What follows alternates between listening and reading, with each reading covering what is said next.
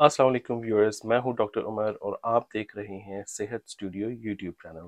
آج ہم ایک بہت ہی اہم جراثیم کے بارے میں بات کریں گے، جس نے حال ہی میں لاہور میں ایک تیس سالہ نوجوان کی جان لے لی۔ یہ جراثیم ہے نائگلیریا فولیری۔ اس جراثیم کو برین ایٹنگ امیبا بھی کہا جاتا ہے یعنی کہ انسانی بھیجا کھانے والا جراثیم۔ اس ویڈیو میں میں آپ کو بتاؤں گا کہ یہ جراثیم انسانوں میں کیسے انفیکشن پیدا کرتا ہے، اس کی کیا علامات ہوتی ہیں اور اس سے کیسے بچا جا سکتا ہے۔ چلیے ویڈیو شروع کرتے ہیں۔ تو پہلا سوال یہ ہے کہ نائگلیریا فولیری ہے کیا اور یہ انسانوں میں کیسے انفیکشن پیدا کرتا ہے؟ نائگلیریا فولیری ایک ایسا جراثیم ہے جو گرم پانی میں رہنا پسند کرتا ہے۔ مثال کے طور پہ جھیلوں میں، تیلابوں میں سوئنگ پولز میں یا گھروں میں پانی کی ٹنکی میں۔ جس پانی میں نائگلیریا ہوتا ہے، وہ دیکھنے میں بالکل صاف ہوتا ہے۔ نائگلیریا اتنا باریک جراثیم ہوتا ہے کہ اس کو بغیر مائکروسکوپ کے نہیں دیکھا جا سکتا۔ نائگلیریا انسانوں میں انفیکشن تب پیدا کرتا ہے جب یہ ناک کے ذریعے دماغ تک پہنچ جائے۔ ہماری ناک کے سب سے اوپر والے حصے میں ایک پتلی سی ہڈی ہوتی ہے جو ہماری ناک اور دماغ کو الگ کرتی ہے۔ اس ہڈی کو کریبی فارم پلیٹ کہتے ہیں اور اس میں چھوٹے چھوٹے سوراخ ہوتے ہیں۔ اگر نائگلیریا سے آلودہ پانی ہماری ناک کے اوپر والے حصے تک چڑھ جائے تو پھر یہ ہمارے دماغ میں داخل ہو جاتا ہے۔ دماغ میں داخل ہونے کے بعد یہ جراثیم انسانی بھیجے کو کھانے لگتا ہے۔ یہ ایک بہت ہی خطرناک انفیکشن ہے جو علامات شروع ہونے کے کچھ دن بعد ہی مریض کی جان لے لیتا ہے۔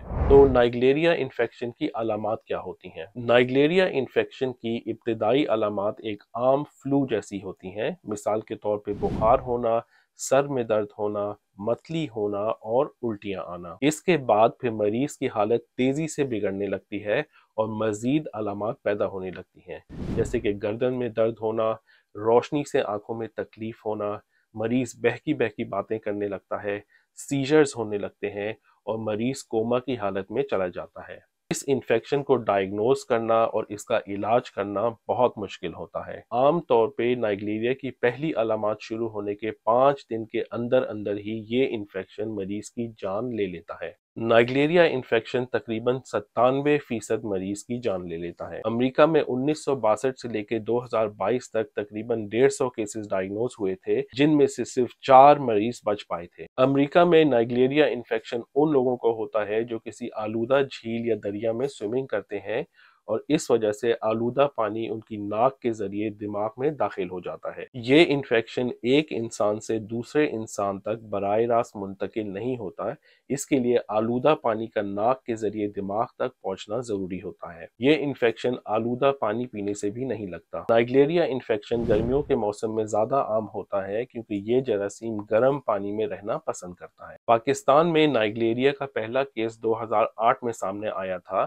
لیکن پریشانی کی بات یہ ہے کہ اس کے اگلے دس سال کے عرصے میں پاکستان میں 146 کیسز ہو چکے تھے، جبکہ امریکہ میں پچھلے پچاس سال کے طویل عرصے میں اس سے کم کیسز ڈائگنوز ہوئے تھے۔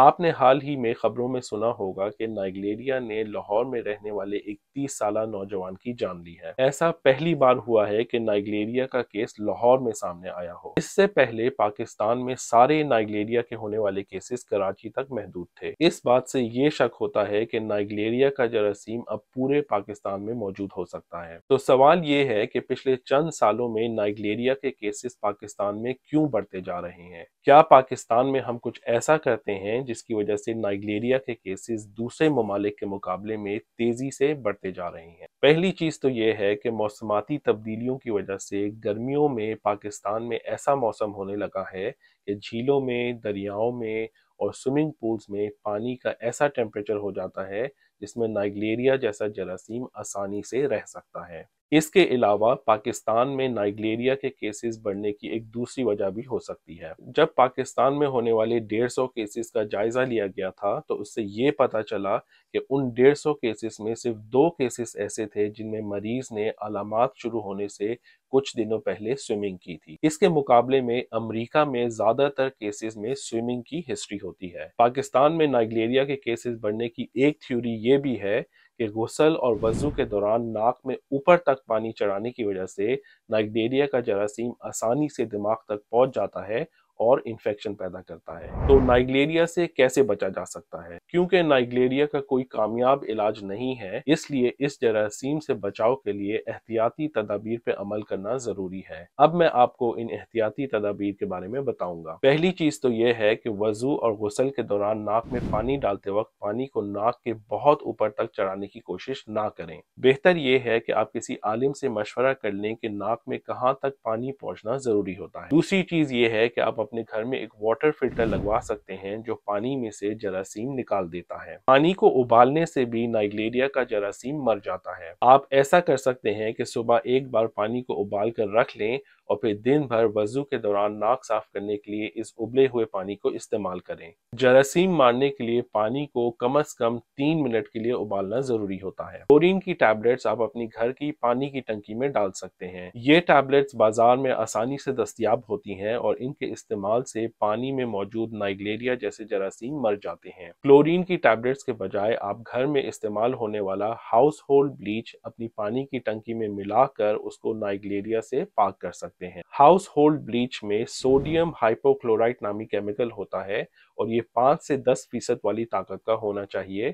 اور اس میں کوئی خوشبو یا کلر نہیں شامل ہونا چاہیے۔ پانی کی ٹنکی کے سائز کے حساب سے اس میں بلیچ ملایا جاتا ہے۔ مثال کے طور پہ، ہر ایک لیٹر پانی میں صرف دو قطرے بلیچ کے کافی ہوتے ہیں۔ بلیچ ڈالنے کے بعد کم از کم آدھا گھنٹہ انتظار کرنا چاہیے پانی استعمال کرنے سے پہلے۔ اگر آپ سوئمنگ کرتے ہیں، تو سوئمنگ کرتے وقت اپنی ناک پر ایک نیزل کلپ پہن لیں، جو آپ نے اکثر ٹی وی پہ پروفیشنل سوئمرز کو بھی پہنے ہوئے دیکھا ہوگا۔ نیزل کلپ پہننے سے سوئمنگ کے دوران ناک میں پانی کو داخل ہونے سے روکا جا سکتا ہے۔ دریا، نہر، جھیل اور تیلاب میں تیرنے سے گریز کریں۔ تیرنے کے لیے صرف ایسے سوئمنگ پول کا انتخاب کریں جو ویل مینٹینڈ ہو اور آپ کو پتا ہو کہ اس میں جراثیم مارنے کے لیے باقاعدگی سے کلورین ملایا جاتا ہے۔ کراچی میں نائگلیریا کے زیادہ کیسز ہونے کی وجہ کراچی کی واٹر سپلائی کے مسائل کو سمجھا جاتا ہے۔ ہمیں چاہیے کہ ہم اس بیماری سے متعلق لوگوں میں آگاہی پیدا کریں تاکہ حکومت اور انتظامیہ اس بیماری کا نوٹس لینے پہ مجبور ہوں اور گھروں میں استعمال کے لیے صاف شفاف پانی سپلائی کریں۔ تو امید ہے کہ یہ ویڈیو آپ کو پسند آئی ہوگی، اس کو لائک کریں اور دوسروں سے شیئر کریں۔ اگر آپ کے ذہن میں اس ٹاپک کو لے کے کوئی سوال ہے تو آپ کامنٹ سیکشن میں پوچھ سکتے ہیں۔ اور آخر میں صحت اسٹوڈیو چینل کو ضرور سبسکرائب کریں تاکہ آپ کو میری ہر آنے والی ویڈیو کا پتہ چلتا رہے۔